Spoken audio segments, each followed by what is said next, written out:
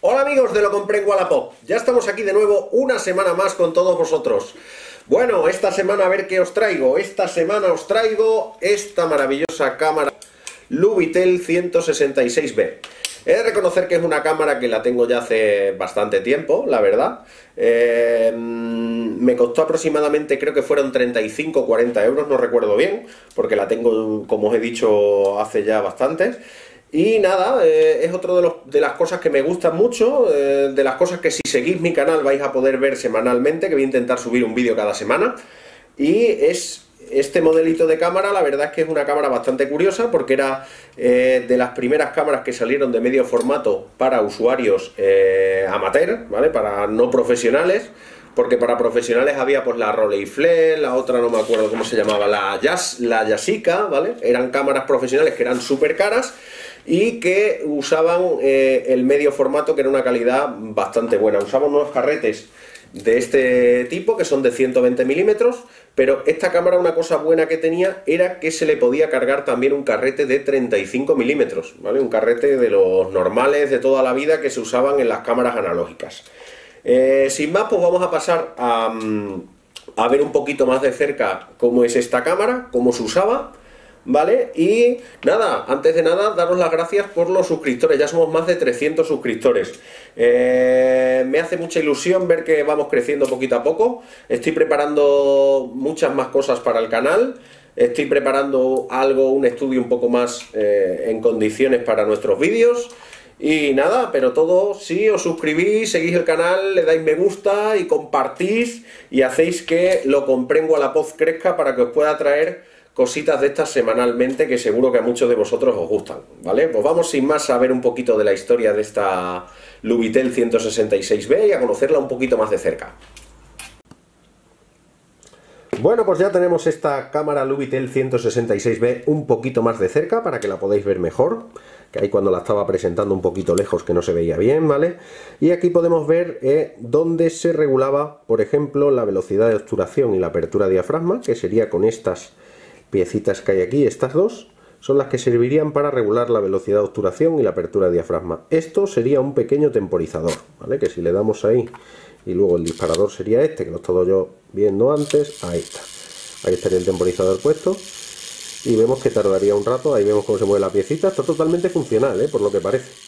Tengo que intentar probarla un día, aunque no sé si seré capaz de, utilizarla, pero bueno, vamos a intentar a ver si somos capaces algún día de hacer unas fotos aquí para el canal de Lo compré en Wallapop. Bueno, tenemos también aquí lo que hemos dicho para regular esto para hacer un retrato pues debería estar en 125 y esto que es la apertura de diafragma que cuanto más grande sea este numerito más cerrado estaría el objetivo y cuando más pequeño pues estaría más abierto yo suelo usar aberturas pequeñas porque me gustan mucho los retratos y luego queda bastante desenfoque y bueno, mm, la verdad es que me gusta bastante más otra de las cosas curiosas que llama la atención a la gente de este tipo de cámaras es por donde se tenía el visor, que sería por aquí. En este visor que usaríamos la lente de arriba, ¿vale? Ahí está, veis cómo podemos ver por el visor lo que vamos a fotografiar. Sí que tenía un pequeño problema este tipo de cámaras de medio formato, que era que tenían un poco de error de paralelaje.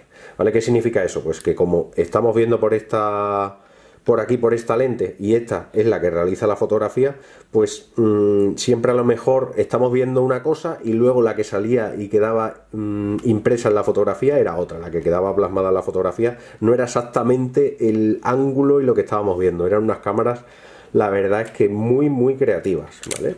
Luego por la parte trasera aquí tendríamos donde se carga eh, lo que es el carrete de esta cámara, ¿vale? Que la tenéis ahí por dentro de la Lubitel.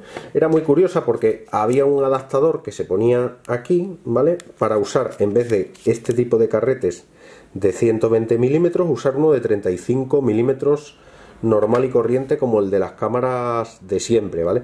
Se ponía, a ver que coloque bien esto, en vez de ocupar todo eso, pues era más chiquitito el carrete de 35, el que conocemos todos, o bueno, sobre todo los que tenemos más de, de 30 años, ¿vale? Eh, es ocuparía en vez de todo este trozo, pues ocuparía esta parte. Se ponía el adaptador y entonces podías usar un carrete normal de cámara para utilizar tu cámara de medio formato. Era muy, muy cómodo, aunque los que verdaderamente usaban estas cámaras eran, como os he dicho, este de 120 milímetros. ¿Vale? Es una cámara soviética, Lubitel, una curiosidad que he leído antes, significaba amateur, ¿vale? En español.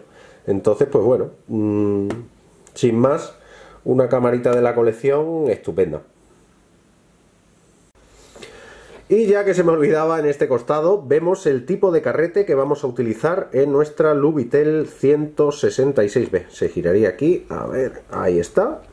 A ver, ahí no hay nada, vale, ahí está los tipos de ISO ASA a utilizar en nuestra cámara. Ahí está, le dejamos uno puesto.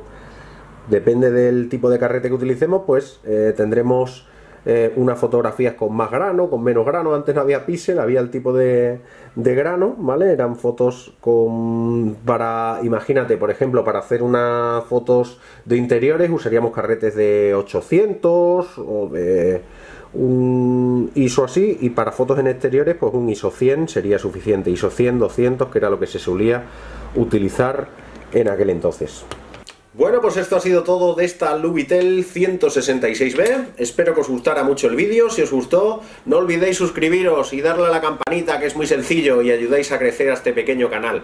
Muchas gracias a esos 300 suscriptores.